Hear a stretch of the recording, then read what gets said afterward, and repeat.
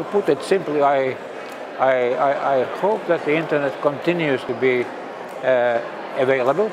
It con continues to be uh, free in the sense that uh,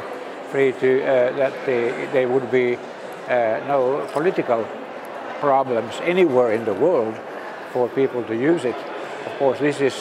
pretty much a utopian thing, but anyway, I mean, in principle, it should be free and uh, we should find a solution to the problem we discussed that, that uh, as a previous question. I mean, the, how to balance the interests of, uh, of freedom of expression and the and reasonable sort of safety